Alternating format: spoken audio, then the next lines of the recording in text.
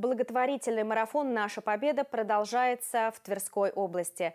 Жители Верхневолжья приглашают оказать поддержку ветеранам Великой Отечественной войны, вдовам военнослужащих, узникам концлагерей, жителям блокадного Ленинграда, труженикам тыла. О том, как оказать эту помощь, выяснила наша съемочная группа направлена на оказание разносторонней помощи ветеранам Великой Отечественной войны. С начала проведения благотворительного марафона и по настоящее время помощь получили уже свыше тысячи человек. Особое внимание уделяется одиноко проживающим защитникам Отечества.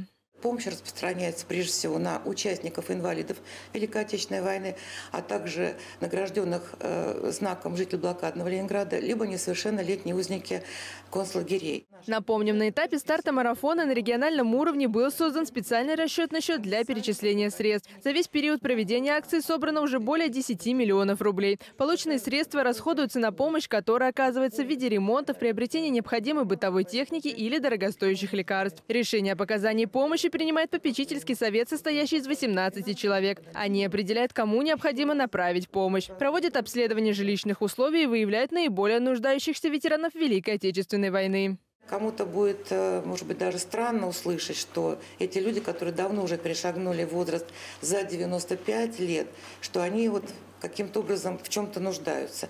И тем не менее это так. Потому что не все родственники, не все члены семьи иногда в состоянии помочь своему участнику.